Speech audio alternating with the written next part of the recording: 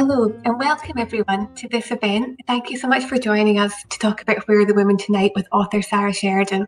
If you've got any questions, please feel free to put them in the chat below and we'll see what we can get through this evening. My name's Christine, I'm part of the publications team at Historic Environment Scotland and I'm very pleased to introduce tonight Sara Sheridan, who's an author of fiction and non-fiction with a fascination for uncovering women in history. Now, tonight they'll be discussing the publication Where Are the Women, a guide to an imagined Scotland, which is now out in paperback. Um, and now, in this book, we imagine a different Scotland, a Scotland where real women and their untold stories are commemorated in fictionalised memorials, landmarks, street names all over the country. So, Sara, thank you so much for joining us this evening. Hi there. Hi, Sara. Um, would you like to tell us a little bit more about the idea behind this book and how you went about creating this um, alternative version of Scotland. Yeah, so it, it originally was a, a, an author in America called Rebecca Solnit, who's a feminist writer, who had remapped the New York subway. Um, and she had told the story of, uh, of, of, New York through the story of the women uh, rather than the men, because there are no New York subway stops uh, named after women. And, and I had written a book called, uh, been part of a book, one of your books, uh, called Bloody Scotland. Um, and I had been doing a tour with some of the other authors at various different historic environments, Scotland places. And when I came home, I had a go at your publisher, Jamie, and I said, Jamie, there's not enough women uh, in in in your properties. And he went off and had a look and came back and said, Yeah, that's absolutely right, there isn't. And what do you want to do about it? And we had both seen this project by Rebecca Solnit, and it was Jamie's suggestion. Jamie said, "Why don't Why don't you do that?" And I, the very first thing that crossed my mind was the Glasgow sub subway. Would I do the Clockwork Orange? Mm-hmm. And and then Jamie was like, "Why don't you do the country?" And I just remember this moment of like thinking, "Oh God, could I actually do that? Like, what a huge job it would be." Um, so I went home. I, said yes immediately, despite the fact that I was a bit freaked out because I thought it was such a brilliant idea and such a huge opportunity. Um, came home and there was no sleep for days. I was sitting there trying to sort of plan out how I would do this book and what would be the best way mm -hmm. to mm-hmm. do it. Jamie gave me an amazing free reign. I mean, I could have done 10 women or 50 women or 70 women but as you know, because you had to deal with me for the whole of the year, um, we finally ended up with around 1,200 women. And, and, the reason for that was once I started looking into some of the time periods that I was less familiar with, I realized how many women there were. And it really became a bit of a crusade for me to get in as many uh, stories. I had a, I had a tagline for myself, which was "No lady left behind." That we could mm -hmm. tell mm-hmm. as many stories as possible and, and really reflect the way that the, our built environment and rural environment are gendered currently um, in, in, in, a, in, in, in a kind of um, realistic way. So as there are lots and lots and lots of men, we could tell that use it to tell the stories of lots and lots and lots of women. Yes, I mean the book has great historical breadth, but also great geographical breadth as well. So it goes from the borders right up to Shetland. And I was wondering if there was any traits that you found were kind of recurring in certain areas, or if there was anything that was universal, no matter whereabouts in Scotland um, these women were from or were living at that time. Oh yeah, both of these things actually. One of the things that struck me because I learned a huge amount in doing the research for the book and writing the book was that um, our built environment and our economic environment really dictates some of people's choices. So when I was looking at the history of women in Edinburgh or in Glasgow or in Aberdeen or in Dundee, these women, or generally women, had different opportunities and different worlds available to them. So you would find, for example, in Dundee, perhaps more working class poets quite early on because they were working in the factories and they had some money and that meant that pamphlets could be produced and um, there were other women who wanted to read their work who also had money so they could they could buy these pamphlets. Um, so yeah, and a lot of uh, labour activists in Glasgow uh, and things like opera singers in Aberdeen and in Edinburgh and dancers and dramatists because a lot of the theatre was in was in Edinburgh in particular, particularly early on. So um, yeah, that was really interesting how much it defined. You'd look at somebody and think, well, you're an opera singer, but if you were in Glasgow, would you have been in the music hall, or if you were yeah. here, you've done something else. Um, so that was certainly something that I learned but there were some movements, if you like, that really took in everyone, among them the suffragettes, of course, with suffragettes from everywhere, um, and the Scottish Women's Hospitals. There were volunteers for the Scottish Women's Hospitals from all over the country. So, yeah, I think both of these things were actually true. Mm -hmm. And when you were, um, or maybe since you've researched the book, are there any individual women or maybe groups of women who have really stuck with you, you know, really stayed in your head over that time? Lots and lots and lots. I mean, I, I, kind of I was already a campaigner. I was already an equality campaigner, really, at, at, the time where I started writing the book. I am now sort of much more radicalized, almost, um, because I realized how many women's stories I didn't know, and it was a subject that I am interested in and that I write about regularly. And when I was dipping into areas of history that I don't normally read about, I realized how many women we, you know, we have missed out. So I think it's a book that that I loved writing, but it actually made me quite angry. I'd be walking along George Street in Edinburgh because in Edinburgh, I mean, we're not worse in Edinburgh actually than anywhere else, but because I was in Edinburgh, um, mm -hmm. are, we might as well use the, the stat. There's more um, statues, for example, to named animals in Edinburgh than there are statues to named women in Edinburgh. And so I'd be walking along George Street where there are six statues to men and, and one statue to a dog. And, um, and, and I would be just getting angrier as I was walking along the street. And I think my anger was about, you know, being brought up in Edinburgh and thinking, well, you know, I've been walking along the street for years and I hadn't realized the sort of subliminal effect that those uh, statues were were having on me. And I, I, I, just kept thinking, if I'm walking on one side of the street and my brother is walking on the other side of the street, he sees people who look like him everywhere. He sees people mm -hmm. who are honored everywhere and whose stories are told. Uh, and, and so I felt very angry for for young me and also for younger people who you know, aren't being taught these stories and aren't being told, particularly younger women, aren't being told that, you know, they can achieve things and, and you can do something worthy of a statue. And it's always, of course, much more difficult to be the first to do anything. So if you feel mm-hmm. you're the first, that's especially tricky. Yeah, I mean, I think what's really amazing in the book is no matter what your interest is, whether it's the arts or science or sport or education, there's huge threads of women who have sort of specialized or really innovated in these areas for hundreds and hundreds of years. Yeah. And you can see that throughout the book. It's, it's, so frustrating. And, and, and then people would say, when I was writing the book, I would tell people I was writing this book and they would say, oh yeah, you know, they'd say, they'd say, oh, Mary Somerville or one person or two women that they'd maybe heard of. Um, uh, uh, and and oh yeah, so you're going to put up two statues then because those were the two women you've heard of. And and I chose in the end a thousand two hundred women, but I actually, I mean, you were very strict with me, and you had to be by the end because that book would have been damn long if we if, if you'd let me have my way because I, I, I could have put in double that number. You know, yep. there were so many. There just was a real breadth, and I I think it made me really realize that we come from a whole um, sort of generation upon generation upon generation of these amazing women um, whose stories just really aren't shared, aren't told. And, and when they are told, they're almost told apologetically. So yeah. just before the book came out, I met a, a, woman in Glasgow and we were chatting and, and, and I was telling her about this, you know, all these writers I found in particular, are the mm writers I hadn't heard of. And she said, oh, my granny was a writer. And I said, oh, what was her name? And she told me the name. And I said, she's in the book. And this, this woman said, oh yeah, you know, she just, she just, she was big in America. And I said to her, your granny cracked the most difficult market in the world. And you listen to what you just said about her. this is part of it. You know, we are so kind of swimming in this water of understatement, um, uh, where these, where we're sort of constantly playing down uh, female stories and, and our inheritance from from that mm -hmm. side of our families. Absolutely. Um, just a quick reminder if anyone's just joined us, do feel free to put any questions in the chat below and we'll get round to those um, throughout the event. Um, Sara, out of the thousand plus women that you included in the book, are there any that are kind of personal favourites or are this month's personal favourites that you would like to remind us of?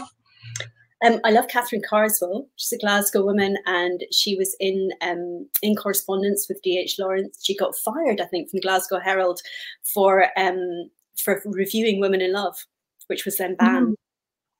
So yeah, Catherine Carswell definitely, and she wrote the first kind of warts and all biography of Burns, and was sent a bullet in the post um, because she had questioned the kind of Burns legacy. So mm. Catherine Carswell certainly um, a big favourite of mine. Uh, Jane Haining uh, World War II heroine who ran a, a, an orphanage in Budapest and went back at the beginning of World War II uh, and ended up dying in, in Auschwitz, I think, in one of the concentration camps. Mm. Anyway, she was incredibly brave.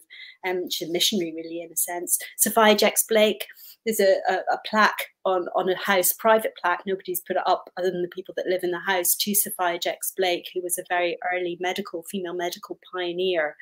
Um, part of the first group of women who um, who graduated from from Edinburgh University of Edinburgh in medicine, or rather didn't graduate. Um, mm-hmm. They did the whole course and then were told they weren't allowed to graduate. So I think she had to go abroad to to graduate. And then writers, always for me, the writers. So uh, Susan Ferrier. Um, and and Mary Brunton, both of them kind of late Georgian, early Victorian writers. Uh, Mary Brunton was in Orkney, although she came down to Edinburgh. I love Mary Brunton. I sort of feel like she's gritty Jane Austen. Uh, and we have totally forgotten about her. She was very, her stuff was very, very popular. Um, this image is, is from the Kirk in the Canongate. Uh, her husband, Alexander Brunton, was a minister and he taught zoology at the university. And also, after her death, went on to be the moderator of the Assembly, Church of Scotland Assembly. Um, and so she was in that milieu and she wrote two and a half novels and then sadly died, I think, in childbirth in the middle of the third. So we only have a fragment of her third. But her stuff was very, very popular and was translated into French, which was kind of one of the, the, the things that you judged books on um, mm. in, in yeah. the late Georgian era. So yeah, I think it, it just felt very, it, it feels like we have a lot of sort of very rich legacy from all these different areas in science, as you say, and in the arts and, and, and in sport too. One of my favies is uh, Phyllis Wiley, who was an early 20th century woman who went off to America. I think it must have been in the 30s. When she went to America, she went on a boat. Like there was no planes yet. And she played in the Curtis Club, but she was never allowed to come to the Curtis Club dinners at the Old Course in St Andrews um, because she was a woman and she wasn't allowed in the club, it wasn't allowed in the clubhouse. and she laterally got to go in, I think, in 2008, which was shortly before she died. It was her first shot in the, mm-hmm. in the mm-hmm. Because that's when we were allowed in. So yeah, a bit of a pioneer. That's great. We've got a question from from Inga on YouTube asking, "How did you deal with women who are more well known in Scotland, like Mary Queen of Scots or Mary, Mary of Guise? Did you include them, or leave them out, or give more space to sort of unknown women specifically? Um, I I included them, and I included several monuments that actually exist. So I didn't, I don't think I put up anything new from memory to Mary Queen of Scots, but there are actually a number of existing monuments. In fact, of the very few statues in Edinburgh to named women, um, Mary Queen of Scots has one on the facade of the Portrait Gallery, one small one on the Scott Monument, and I think as well maybe one on St Giles, on the outside of St Giles. Um, so yeah, I did include them because I think they contributed, um, and and also I wanted to create this this very accurate reflection. So we have statues to uh, people who are well known, kings, for example. All the, all the people you've mentioned are kind of a part of royalty and therefore part of the ruling class in the medieval era. Um, and so because we have monuments to the men, I wanted to create also monuments to the women. So yeah, I did mm. uh, include them. Good question. and we've got a question from Ken on YouTube as well, um, asking about, on saying that he's recently heard about a project in Paris to rename or ensure more places are named after women. And he's asking if you've heard of any similar campaigns in Edinburgh or how anything like that could be started. So I think that's an interesting point. Yeah, um, Edinburgh City Council is actually already committed to naming uh, new roads and things uh, uh, for women. However, the issue with this really is that quite often somebody's built a, an, a, an out of town sort of cul-de-sac somewhere and then that gets named after a woman. Mm-hmm. We still have George Street and we still have, you know, all the centre of town, the sort of communal stuff and the stuff that people um, yeah. are, are kind of most important public spaces, if you like, there's no room for women. So it, it's kind of a two edged sword, but they are making an effort to do that. And I think two years ago now, they named uh, a small track on the meadows after Muriel Spark and um, a close after. I think it's is it Miss Brodie that they named it after. One of the closest off the Grassmarket is named after. I think it's Miss Brodie. So they mm-hmm. are they are trying to do something, but the but the issue around it really is that you know the centre of our cities, our main public spaces are really already named, and, and that's kind of problematic, I think. So we want to keep pressure on the council that they need to do more. I know at, um, at HES we run, there's a number of plaque schemes, we run a plaque scheme as well, and that when nominations reopen, people can put forward women um, for these schemes as well. And I know this it's been running for about eight years, and there has been an increase in number of women that have been put forward for this scheme. So I think sometimes there are things like that, as well as um, sort of actual streets and things like that. You can maybe if you've got good ideas, you can think about that as well. Mm. Um, so, um, Sunita on Facebook has asked for a reminder of the name of the of the name of the writer who sort of inspired Where the Women with the New York subway. Uh, Rebecca Solnit, S O L N I T, Rebecca Solnit. She's written loads of books. She's an amazing um, feminist campaigner, actually. So, yeah, worth looking up. Yes, and we've got one from and Crowdy on YouTube. If you were able to create and place a statue of a woman in Edinburgh, just one, who would it be and where would you put it? I think I would take down, first of all, controversially, a statue of David Livingstone in Princes Street Gardens because I just think it's he was just the worst missionary in the world. I, think he was just there because of that great story about him. And um, so I think I would put it somewhere like that, somewhere really central. And I think there would be a number of candidates actually that we could look at seriously. Sophia Jex-Blake being one of them. I mean, there is a plaque to the Edinburgh Seven, Sophia, of whom Sophia was one but mm-hmm. her um, her contribution to Edinburgh in particular was really extraordinary. She donated her house to be a hospital. The first uh, woman and children's hospital in Edinburgh was actually Sophia Jex-Blake's house. So yeah, I think it, it's completely worth. Um, it would be completely worth commemorating her. And I'd also say Eliza Wigham, who um, campaigned against indentured uh, just after slavery was um, uh, abolished, Eliza Wigham was one of the sort of six transatlantic slavery alliance women who really campaigned to stop uh, indentured uh, slavery um, uh, in America. Um, so yeah, those two women I think would be good candidates. But we're not short. Let me just be absolutely clear: we're not short of amazing foremothers to to to to put statues up to. You've got a question from Heather on Facebook just asking if there's any Perthshire women in the books. I thought maybe you could say a word of how you've sort of divided or how you've cut managed to cover all of Scotland within this book. Um, there are. There's a whole section on Perthshire. Um, in my head, I'm scrambling now. I can't exactly remember who was in Perthshire and who wasn't.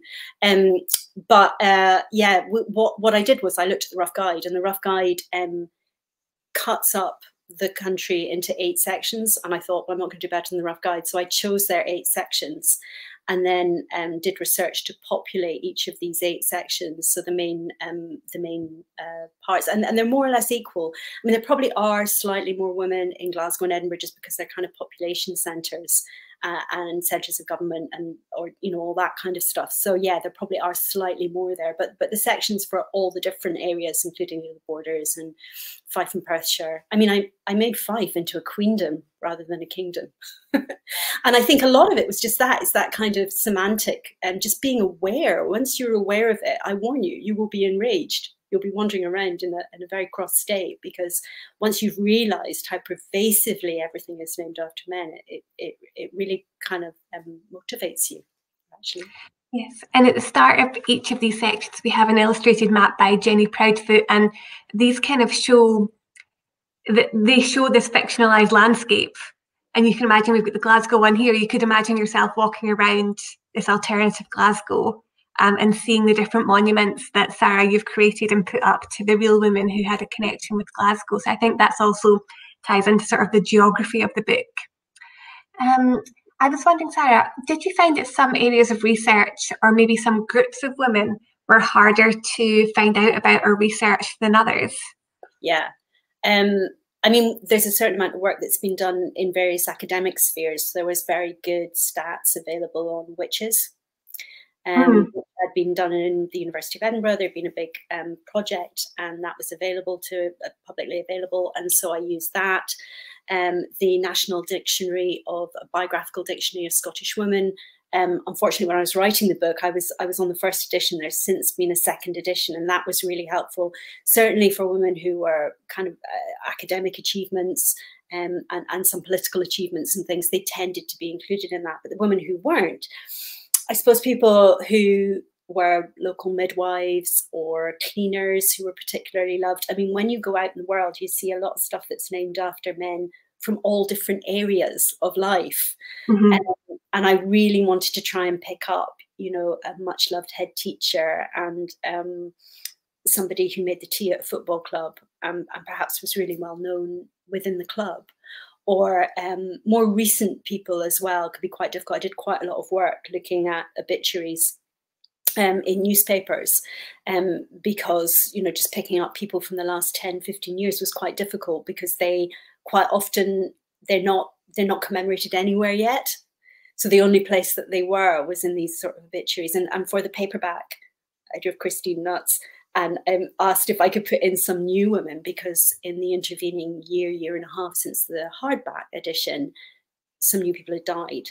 And so I wanted to include, for example, Polly Higgins, who had been a campaigner to um, uh, to uh, create a, a, legal terminology of ecocide. Uh, so she's like an mm-hmm. environmental campaigner, campaigner, campaigning lawyer. And Polly very sadly died quite young of cancer. I knew her, and I wanted to include uh, I wanted to include her in the new edition. And, and I think there's something like I can't remember it was ten or twelve that we had room for that just I was I was able to I was able to get in. So so more recent women were difficult. Mm-hmm.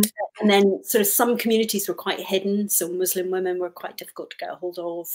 Um, there were some areas of Black history which were quite difficult to to come across. Not that there isn't Black history or that there isn't you know Muslim history. There aren't women doing it, but finding those names and those stories actually turned out to be you know a little bit more difficult than, than we would like it to be.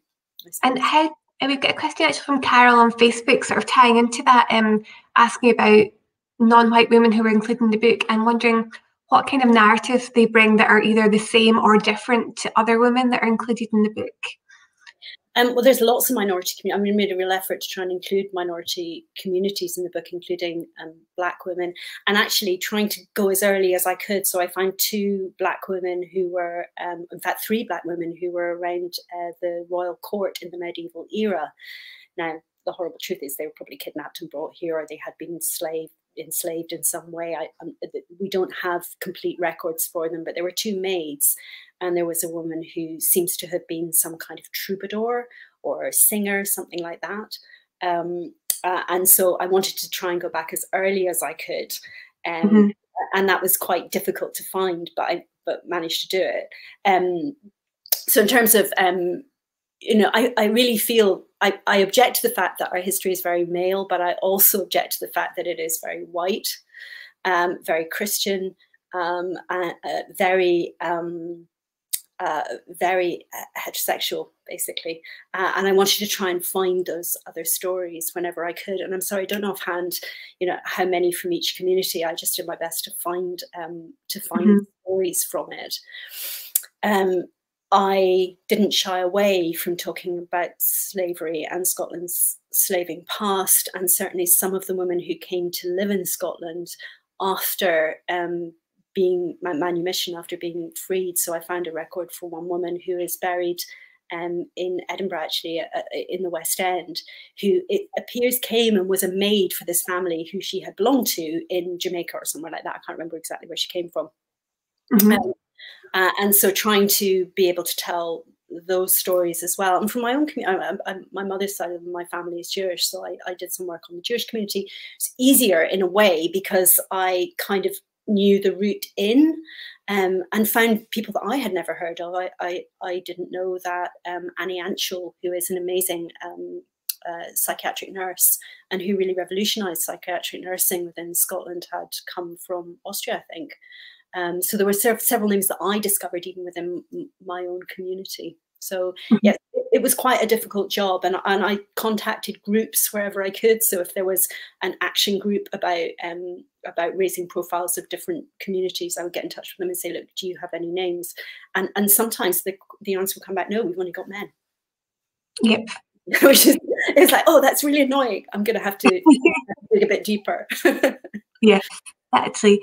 Um, a question from um, Chris on Facebook asking, how would you encourage us to explain to children the lack of commemoration of women and what positive messages can we instill in them about a more positive future in this regard? So how would you answer a child asking a question like that? I suppose um, I suppose you want just stories that they can really relate to and just start telling them some stories. I do these little threads on Twitter, which mm. are stories that I think people will be interested in. Um, and quite often they're just little snapshots, you know, because Twitter's not, you don't get very long, but I do just one tweet per woman and say, look, these are women who were early doctors. These are women who, I don't know, whatever you want, women who are in early in, in sport across the whole of the 20th century or whatever. So I would say it's just about getting the kids to realize that women were, because I think the story that's often told in schools is that women were, you know, staying at home being ladies. Some of them were, but some of them weren't. Some of them were pioneering and doing other things. And um, I think it's really important for all kids to hear those stories because those little boys, that's their that that's their legacy as well. You know, mm-hmm. just as I come from my grandfather and great grandfather, I equally come from my granny and my great grandmother. Um, and so I think it's really important for all kids to understand the sort of breadth of our our, our history, and really it's through stories. You know, kids yeah. relate to the story. I guess kind of following on from that is why is it so important then that we not only know about the women from our past, but that we do have that reflected in the built environment? Mm, I think it's about honouring their achievements, isn't it? Because if you think of someone like Sophia Jex Blake versus several of the men who have statues, um, and, and you think about what that person achieved, you know, putting up a statue in particular is about honouring that person's legacy. And so if you have statues up to people whose legacy isn't really worth honouring for whatever reason, then that is actually really problematic actually because what you're what you're doing is giving honor and honor to somebody who who's who, who maybe shouldn't be doing that.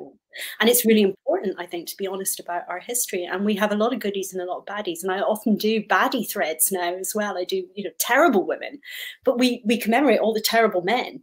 Mm.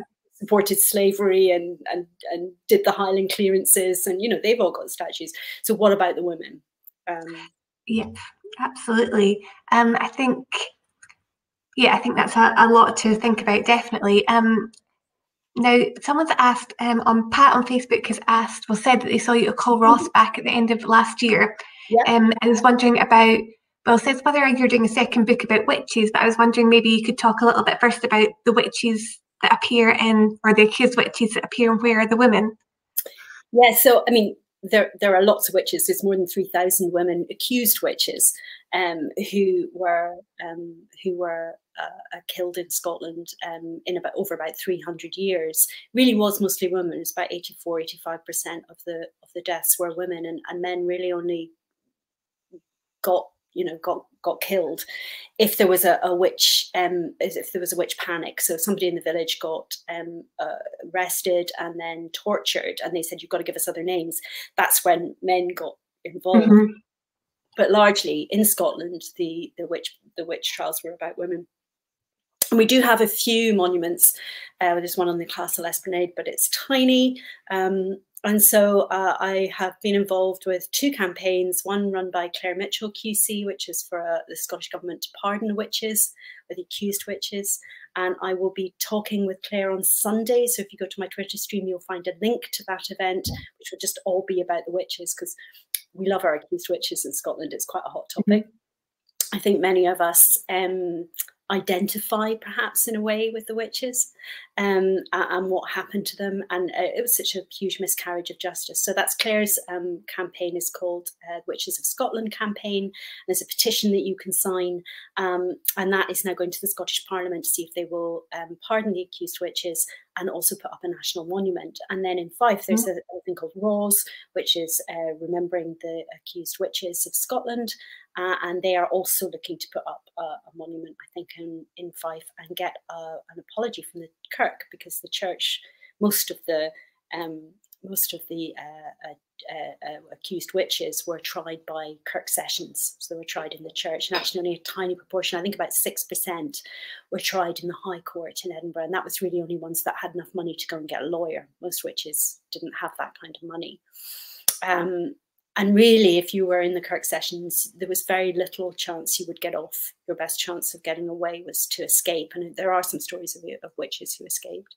So if we're looking for names, I mean, the, the witch that comes to mind most is, is Lilias Adie, who was um, she was an accused witch, but she actually never got um, she never got sentenced because she died before she could be sentenced, and she's buried on the foreshore, just near Culross, which is um, where Pat saying we met was was at the new Witches Trail that runs along the the foreshore there um, that you can follow, and that's great that that's that's happening, and and and that trail Lilias is included in that in that trail. Um, and secondly, no, I won't be doing a second book just with witches. I don't think, um, but I do have a witchy subplot in a novel that I will be writing later this year, which will come out probably next year or maybe the year after. Um, where I'm looking at the legacy because it, what happened with the witches was when they were accused and when they were tried, um, your whole family was sort of tarred with that brush.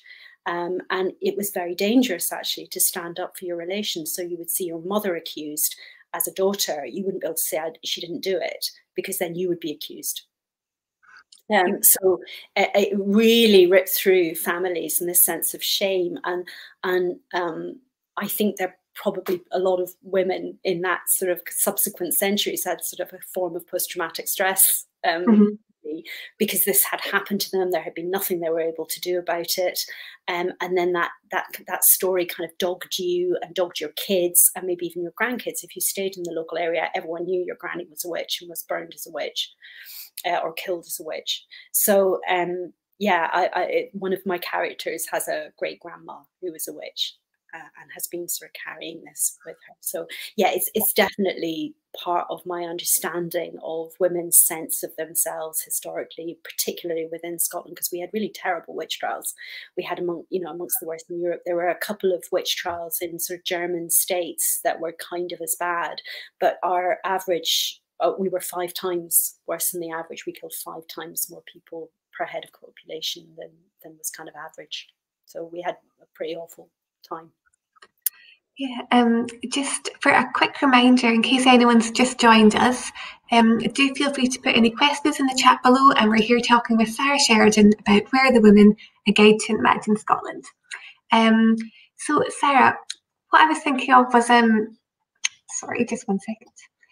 Um, you've got loads of statues and plaques in the book, but you also for example, with the witches, you have created kind of monuments that are less traditional um, yeah. although there are fictionalized statues um, plaques, as I say. Um, could you give us a couple of examples of the created monuments and why you chose to go down that road with specific women rather than repeating maybe what we actually see in the built environment around us today? Yeah.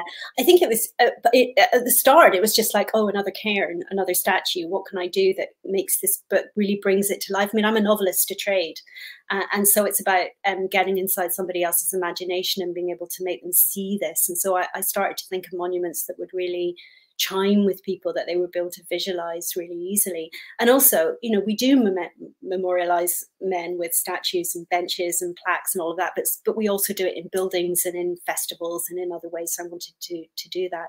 With regard to the witches, um, I came up with a monument that is actually a historic environment Scot- Scotland property. So it's a wrecked church um, which is in the middle of the countryside. And I created a, a, a witch, witches memorial trail that led to this church, which was a, which was burnt out. And so my idea was that the church would um, it would smell of this burnt out wood and that inside there would be a lot of herbs growing and herbs hung up so that it would be like a smell monument it would be something that you could visit it would have an amazing atmosphere and it was kind of suppose fitting that it was a burnt out church because the because so many women had died um, after being uh, convicted by the the church sessions. Mm-hmm. So um, yeah, that kind of thing was something that I thought, yeah, I can see that. That's an amazing idea. And I worked with a, a, a perfumer called um, Alex Musgrave, who's a very talented perfumer. And I said to him, what should I put in this church to make it smell amazing? And so he helped me choose the um, the, the, the right stuff to put in there so that you would walk in and it would have a really distinctive kind of witchy smell. Um, mm-hmm. Um, so certainly that one. Things like bells. You know, I love bells. I, I, I, put a couple of bells up on Shetland, and somebody wrote to me at one point and said, This would drive us all nuts. It's very windy up here, you know, because this bell was just going to constantly be chiming. And I suppose that's the joy of, of, of making up monuments rather than having to actually um, actually create them, is that, you know, it's easy peasy because you don't have to deal with you know the noise level or anything. I, I suppose one of my favorites my other favorites was uh, in the Highlands, and I decided to make a memorial to the women who were cleared, the Highland clearances. Uh, and women very often were very active in standing up to the Highland clearances, almost in a sense more than the men. So um, there are a lot of women who were injured or killed as a result of, of that kind of action. And I looked internationally, actually, at um, the kind of monuments that are made all around the world to that kind of injustice. Um, and I chose to echo a Holocaust memorial, actually, uh, in Germany, which is a, a huge piece of, of stone and I thought this is perfect for the Highlands. It's kind of perfect for this because all the crofts were, were built of stone.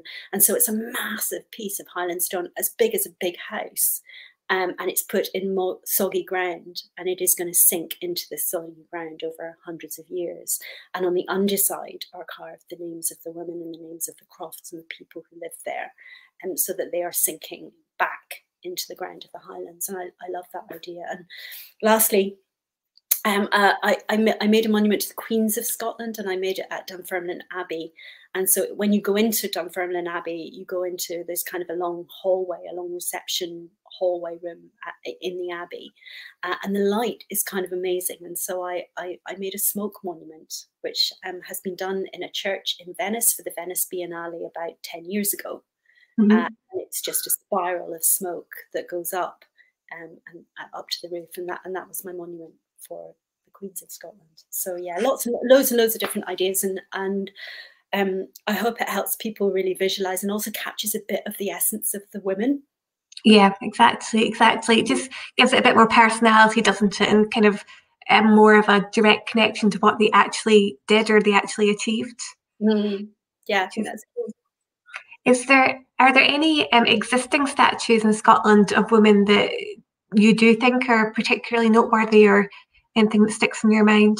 Yeah, I mean, there's quite a few. Glasgow's got seven or eight now, I think, because um, they've, they've just put up a couple of new ones to the, the rent strike women. Um, my favourite one in Glasgow is not to a Scottish woman, it's La Pasionaria, which is down on the Clyde, and is to Dolores, um, who is a, oh, there you go, yeah, uh, Dolores Ibárruri, who is a, a a, a, Spanish Civil War uh, sort of icon. Uh, lots and lots of people from Glasgow, including women, um, went to uh, fight against fascism. There was a lot of anti-fascists who went from Scotland to the to the to fight in the Civil War. And also, we mustn't forget there were a lot of women who were left at home. Their, their husbands went off to fight, and they were left in a situation where they had to run the house and look after the kids and do all of that on their own. I, I love this statue. Um, and when I'm in Glasgow, quite often if I'm in the centre of town, I have time, I'll grab a coffee and go down. There's a bench nearby and you can go and sit next to Dolores. So I love. I love it because she looks so joyful, I suppose. I think that's my that's my favourite one. We had a question from Sabrina on Facebook, um, kind of asking if there's any other projects worldwide I suppose were either inspired by your book or doing something similar or tangential, and if any other countries are starting to put women in the picture more. Is that something you've kind of become aware of over the last couple of years? Yeah, I, I think there's a worldwide movement. And I mean, my agent has pitched to do the same kind of thing in Ireland. I lived in Ireland for many years and studied at Trinity. And, and so my agent was talking to an Irish publisher, but no takers so far. So people could say, oh, it's an amazing idea. Oh, I don't know if I want it. But they should have it, I think. Um, and, and certainly there was a, a feature in the Irish Times that very much played on the idea of the book and said, if we were putting up monuments, where would we put it up? And it, it came out mm. just before the book came out, and I know they had a copy, and the, I had spoken to the journalist who, who wrote it. So um, yeah, I think there are there, there's kind of an, an increasing awareness around the world uh, that that women's stories have not been honoured and haven't been told. So I think it, I, am part of that more general movement, um, and I hope that people um, are inspired by the book. Certainly, you know, after it came out, I had I was contacted by several Scottish councils who said, We're really interested in your book. Can we use the material? And my mm-hmm. answer was always yes, because that's our history. you know, I didn't make these women up, they're real, they're, you, they belong to you. they're part of your history. Uh, and so I think it was really helpful for them, though, to see which women came from their area. Mm-hmm. Perhaps something that hadn't been researched, and a couple of ME, uh, MSPs came back to me and said, "Oh, I see, is this person in my in my constituency?" You know, and um, and we had a chat about where they actually lived and, and and, and, where they came from. So I think what it's done is allowed um, some people who might be interested in putting up monuments and renaming things or putting up benches and stuff to see where who lived where. Yeah, because it can be localized, can't it? The, the kind of commemoration you want it to be someone from the place that you are. Um, internationally, yeah, the Irish thing. Um, uh, uh, but apart from that, no, I haven't heard anymore. But I would be surprised. I mean, I got the idea from Rebecca Solnit. I hope somebody gets the idea from me. That's that's what ideas are for. Yeah, I think what you're saying about um, finding out if people are from your area is really interesting because um, one of the women that sticks out in my head is Rebecca West, who appears in the book. And although I'd heard of her and she'd, you know, she reported on Nuremberg trials and things like that, as well as being an author, I wasn't aware she had a connection to Scotland until I read where the women realised she had um, a part of her education here. So I think, as well as unknown women, you will find just women who were present in Scotland that you perhaps just mm. were unaware of up till now. So yeah, you do. Really a terrible novel because after I'd finished, I looked at a lot of the writers and I I I'd written about them in the book, and I was like, and I made a list, and I decided to read through some of their books. Um, including Lorna Moon. Um, I'd never read Mary Brunton before. I'd never read Susan mm -hmm. before. I'd never read Dorothy Stevenson before, Robert Louis Stevenson's second cousin, um, who sold a lot more books than he did in her lifetime. Anyway, um, and so I, I, I, I, went off and read Rebecca West and her nonfiction. That's what she was known for. Was brilliant. Mm. Also wrote a terrible novel. And I remember getting halfway through this novel, thinking, "I'm just giving this up, Rebecca." so yeah, it was quite it's quite interesting to just see what everyone tried, you know, as well. Yeah, exactly, exactly. The the sort of the range of skills and achievements that people had. Maybe not everything worked out, but people really were not mm. just doing one thing for their yeah, life, lots of things. Exactly. And that was lovely actually to find out more about people that you already knew about, like Mary Somerville or Rebecca West or Williamina Fleming, the, the astronomer. Um, mm-hmm. You know, already these were people I already knew, like you, but that I didn't know that they had a connection here. And and Rebecca West was, you know, her schooling was here, so she was brought up in Scotland, in Edinburgh, I think, somewhere. Yeah. Got a question from Antonia on YouTube. Um, you mentioned there are notable terrible Scottish women. Who's your favorite? Who's your favorite Scottish female baddie? Oh my god, female baddies. Um, Lady Anne Mackintosh was pretty awful, but also quite admirable. So she was Jacobite, noble woman.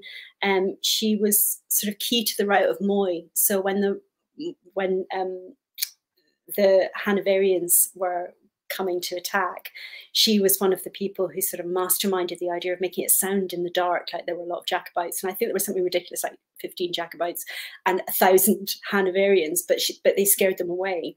But she also um, recruited for the Jacobite cause amongst her tenants and threatened to evict their families and burn out their homes if they didn't, if the men didn't join up.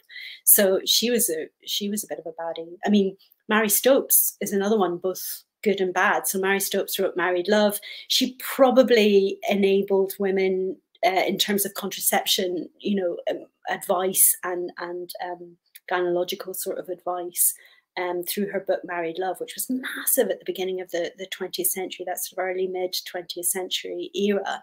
But she was a eugenicist as well. So quite often you you find her and you think, oh, these this woman's amazing, and then you're like, oh no, she's done this terrible thing, or she's got this terrible opinion mm. um, uh, as well. So yeah, I, I like Mary Stopes in terms of you know she, in terms of impact. She positively impacted so many women, and yet was so very morally wrong.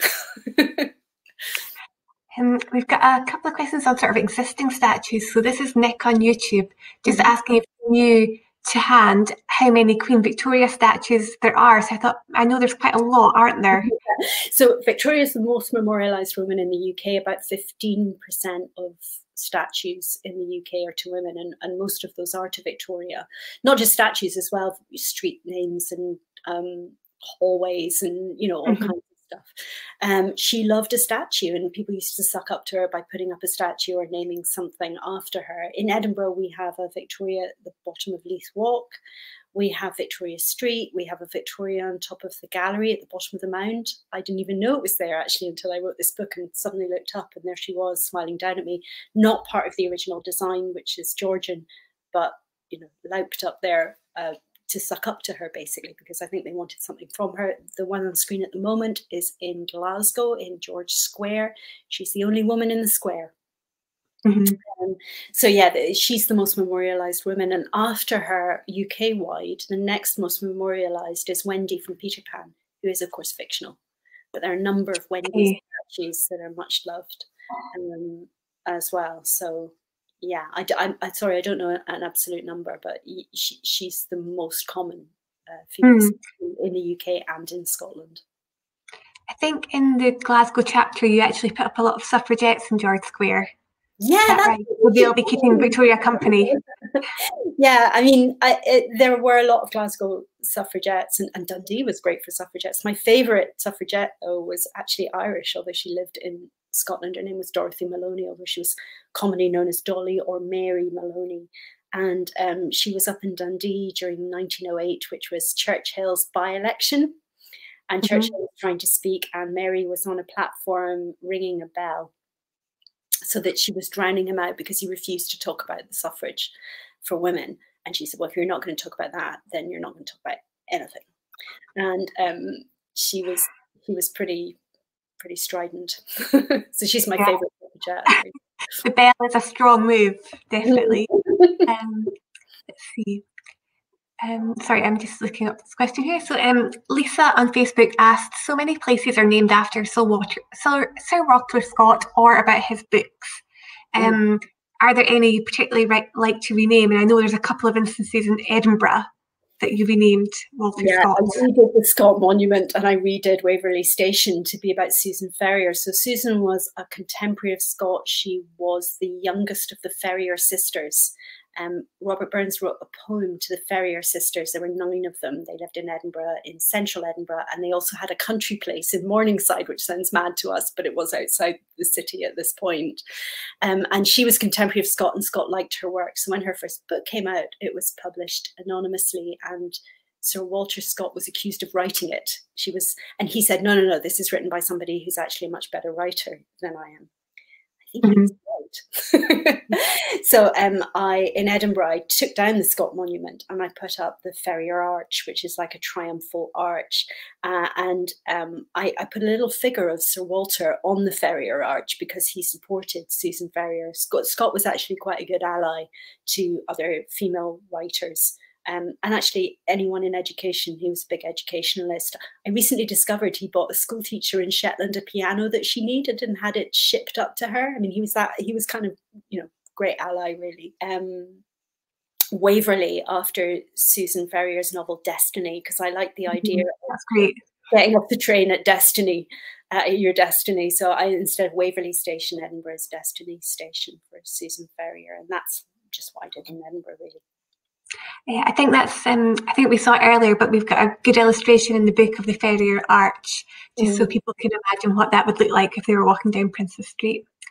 Um, I was also wondering, um, how did you find researching sort of um, sort of the Highlands and Islands in terms of the Gaelic research that you did? Mm. It's quite difficult because I, I lived in the Gaeltacht in Ireland for about two years.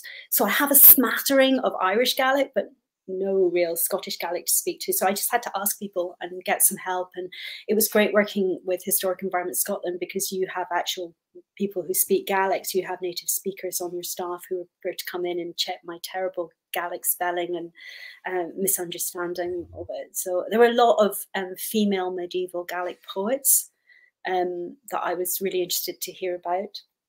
Mm. Uh, and to read some of their work actually uh, as well. Um, I can't remember, uh, so sort of Highlands and Islands, that sort of stuff. And, and just asking people, you know, it, it, you can't be an expert in the whole thing for this book. Mm -hmm. way to be an expert yeah. in the whole thing. So there are two areas I write about. I write about the mid 20th century. I write a series of murder mysteries, and I know a lot about women in the mid 20th century, and I know quite a lot mm-hmm. about in the late Georgian, early Victorian. But I knew that I didn't know anything about medieval women. yeah. To it, and so it was just a matter of going out, reading some books, talking to people, and and the biographies are not hugely detailed. And um, we only needed a paragraph about each, but I wanted to feel that I had some sense of what that woman had achieved and, and why she might be memorialized before I wrote about her. So mm-hmm. there was quite a lot of research to do. Absolutely. Gaelic poetry. And people were reading Gaelic poetry to me down the phone, and it's just dreamy. Yeah, excellent. There's a woman, um, I probably will pronounce this wrong, apologies, but um, Màiri Mhòr nan Òran, who's in the book, and she there's a quote in the book where she says we should study our witches as well as our saints. And I, I just think really great quote and kind of encompasses the fact again like the breadth of this book and that sort of adds a layer of texture to your knowledge about women you won't remember every single woman in this book but when they crop up in a newspaper article or a podcast or on tv you're like i've heard of that woman. And you're like mm. oh yes i know where it was. It was where the women and it just sort of gives you extra depth to what you know really. I'm still finding women i hate to say this christian if we go to another edition i keep a, a file on my computer that's called more women and it's in the Where Are the Women folder on my Dropbox. And you know, every so often you somebody on social media mentions a woman or I read an article about one and say, oh my God, there's another amazing Scottish woman. And I take a little note just in case we can get her in somewhere. I think at one point I did a thread of women I discovered who just couldn't make it, didn't make it into the book, but mm-hmm. they were mm-hmm. amazing. Um, so yeah, we're not we're not short of fantastic foremothers for sure. Absolutely, absolutely. Um, a question from Colin on Facebook. Um, what would your prediction be for the influence of present day gender neutral, um, neutrality policy be sort of looking at women's history in 50 years' time? So, what will our contemporary culture I think we have a lot more world. We have a lot more words. We have a lot more language. I mean, that's certainly something that I notice. I'm not even historical. It's terrible, isn't it? When part of your upbringing becomes historical. I'm 53 this year. And I think of the kind of communication and the words that we had, just the language that we had and the understanding of stuff that we had when I was growing up. And I'm actually quite jealous of my daughter and my nieces that they have all this new language to discuss what they feel and who they are. Um, so yeah, I hope uh, that we take that on. That's progress, isn't it? Mm -hmm. uh, I think one of the interesting things was, you know, it was quite difficult in some cases to figure out, for example, early 20th century lesbians, because there were some women who were obviously gay. I mean, there was just no way they weren't gay. And there were other women that you were like, well, are you or aren't you? I don't know. I don't quite understand. Mm-hmm. Because they did, because there was no language, even in their diaries, you know, they quite often just don't have the language. And you, you discover these beautiful early lesbian poems. Um, there's a, a woman called Bessie Craigmyle from uh, Aberdeen who wrote poetry to her lover, who, who went off and married a man. So she was absolutely raging about it. It's this tragic, tragic set of poems by Bessie Craigmyle. Mm-hmm. Um, we have we have language for that today. Thank God we have language for that today. So yeah, I hope um, I, I hope it continues to enlighten our understanding really of where we really come from, which mm-hmm. is what history is all about for me. It's about finding out where we come from. Uh, and that's that's the joy of it. Absolutely. I was thinking that earlier when we had the question about how you would sort of speak to children about it and you hope that mm. perhaps it won't be such a big question that just for everything that's happening there will be more representation. Yeah. And also i mean i learn when children speak to me. Like mm. i'm not mm. kids anymore. They're teaching me. And that's very difficult to listen to sometimes you know, you were campaigning in the 80s and in the 90s about stuff that, you know, you, you and, and things change, things move on. Um, so yeah, I, I, feel quite strongly about it. Actually, it's listening skills. Mm. That's where our understanding comes from. Uh, we need to learn to listen. We've got a question from Helen on YouTube asking, how can we future-proof women's contribution so that researchers can, researchers can access information on women much more easily? Um, Okay, so I think there are a number of things that are being done and can be supported, and we can do more of. Um, initiatives in academia around uh, funding PhD research, which is beginning of lots of other things that happen. And making that PhD research digitally available is really important. Initiatives like the National Dictionary, uh, a Biographical Dictionary of Scottish Women, to keep funding that, to update that so that we can do that. And one of the hugest things, this is really going to make you angry. I know it is. It made me angry when I found out about it. So when they started Wikipedia, the first load of sort of um, criteria that they they made their algorithm from was from the Encyclopedia Britannica. And Encyclopedia Britannica was curated and put together by white middle-aged Christian men. Uh, and so when they extrapolated what had got into the Encyclopedia Britannica, they just made that part of Wikipedia and what Wikipedia will put up. Uh, and so uh, Wikipedia's algorithm is a bit sexist, let's put it like that. And mm. so there are a lot of wiki editing um, uh, sort of uh, work going on that you can join. And quite often libraries get involved with this and, and women's groups and all different kinds of people get involved in it with different expertises to, to, to, to put that into Wikipedia because that's like one of the, the most important resources actually for young people. Young people don't go to the Encyclopedia Britannica, they go to Wikipedia. Um, uh, and, and, so uh, it's problematic and it's something that a number of people are working on and they're always looking for people to come on wiki edit so that we can include more women. And then uh, projects like on this day she which is uh, started out as a social media project to um, to memorialize different women every day uh, and is now a book that's just come out called on this day she. So um, getting that supported within the sort of publishing world really to make these stories really accessible um, and, and, and more well known. I think all these things actually um, will help to will help in the future. Absolutely, and we'll just have to keep on sharing all the stories within the book as well. Yes. Sure everyone gets to hear these untold stories in one way or another. Um, so I think we're really kind of coming to the end of our um, chat this evening. So I would just like to really thank everyone who's taken the time to join us this evening. Um, it's been really great to talk to Sara. If you would like more Where Are the Women, as I mentioned at the start, it is just out on paperback now. So I'm sure there'll be links below. It's generally available, including from the Historic Environment Scotland shop. There's also throughout March, um, it's Women's History Month. If you follow HES on Twitter, social media, you'll get a lot of stories about Scotland's women also on the blogs. We've got an online exhibition opening on Monday for International Women's Day. So there's loads of stories out there I'm sure that you'll find really interesting. Um, I'd also like to thank my HES colleagues behind the scenes for letting everything run so smoothly.